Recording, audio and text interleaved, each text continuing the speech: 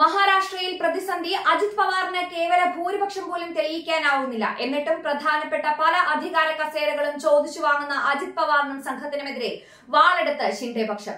മഹാരാഷ്ട്രയിൽ ഭരണപക്ഷത്ത് വൻ പൊട്ടിത്തെറികൾ അധികാരം നഷ്ടപ്പെടാനൊരുങ്ങി എൻ ഡി എ സഖ്യം. അവനവൻ കുഴിച്ച കുഴിയിൽ വീണ എൻ ഡി എ. നമസ്കാരം ലക്ഷ്യ ന്യൂസിലേക്ക് സ്വാഗതം. ചക്കിന് വെച്ചത് കൊക്കിന് കൊണ്ടു എന്നൊരു ചൊല്ലുണ്ട് മലയാളത്തിൽ. ഇപ്പോൾ അതേ അവസ്ഥയാണ് മഹാരാഷ്ട്രയിലെ ഷിൻഡെ പക്ഷത്തിന്. എൻ സി പി തങ്ങളുടെ മാസ്റ്റർ പ്ലാനിൽ പിളർന്നേ എന്ന് ബി ജെ പി വിളിച്ചു കൂവിയപ്പോൾ ഞാൻ എൻ സി പി പിളർത്തിയേ എന്ന് അജിത് പവാർ ഉദ്ഘോഷിച്ചപ്പോൾ അമർഷം കടിച്ചമർത്തി ചിരിച്ചു നിന്നവരാണ് ഷിൻഡെ പക്ഷം ശിവസേനക്കാർ. ഉദ്ധവ് താക്കറെ മഹാരാഷ്ട്ര ഭരിച്ചിരുന്ന കാലം മുതലേ എൻ സി പിയോട് വധശത്രുത വെച്ചു പുലർത്തിയ ശിവസേന വിഭാഗം ഷിൻഡെ ശിവസേനയെ പിളർത്തി ബി ജെ പിയിൽ ചേർന്നപ്പോഴാണ് അവർക്ക് ശ്വാസം വീഴുന്നത് പോലും.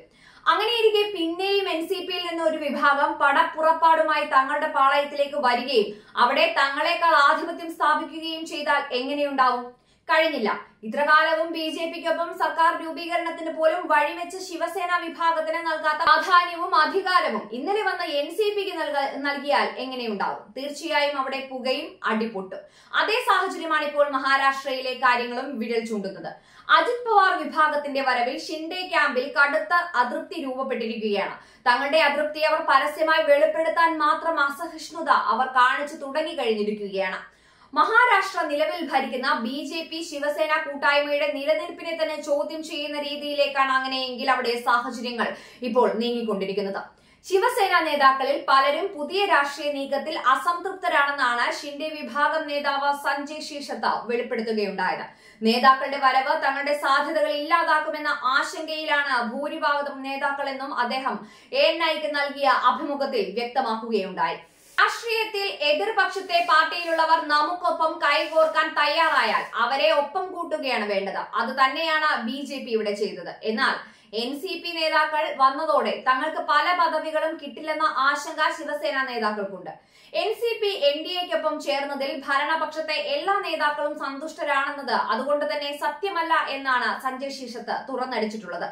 ഞങ്ങൾ ഇക്കാര്യം മുഖ്യമന്ത്രിയെയും ഉപമുഖ്യമന്ത്രിയെയും അറിയിച്ചിട്ടുണ്ട്. അവരാണ് പ്രശ്നങ്ങൾ പരിഹരിക്കേണ്ടത്. ഞങ്ങൾ എല്ലാ കാലത്തും എൻ സി പിക്ക് എതിരാണ് ഇപ്പോഴും ഞങ്ങൾ ശരത് പവാറിനെതിരാണ്. ഉദ്ധവ് താക്കറെയെ മുഖ്യമന്ത്രി എന്ന നിലയിൽ ശരത് പവാർ ഉപയോഗിക്കുകയായിരുന്നു. ഉദ്ധവ് മുഖ്യമന്ത്രി ആയിരിക്കുമ്പോൾ എൻ സി പി ആണ് ഭരണം നടത്തിയിരുന്നത്.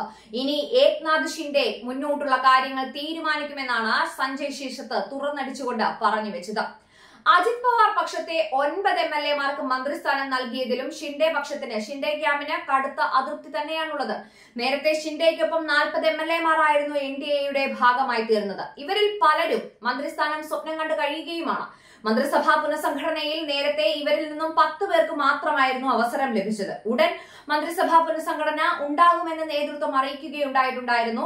എന്നാൽ അജിത് പവാർ പക്ഷത്തുള്ള നേതാക്കൾക്കായിരിക്കും കൂടുതൽ പദവികൾ ലഭിച്ചേക്കുക എന്നതാണ് ഇപ്പോൾ ശിവസേന നേതാക്കളുടെ ആശങ്ക. ഇതിനോടകം തന്നെ സുപ്രധാന വകുപ്പുകൾക്ക് മേൽ അജിത് പവാർ പക്ഷം അവകാശവാദം ഉന്നയിച്ചു കഴിഞ്ഞിട്ടുമുണ്ട്. ധനകാര്യം സഹകരണമടക്കമുള്ള വകുപ്പുകൾ തങ്ങൾക്ക് നൽകണമെന്നാണ് അവരുടെ ആവശ്യം.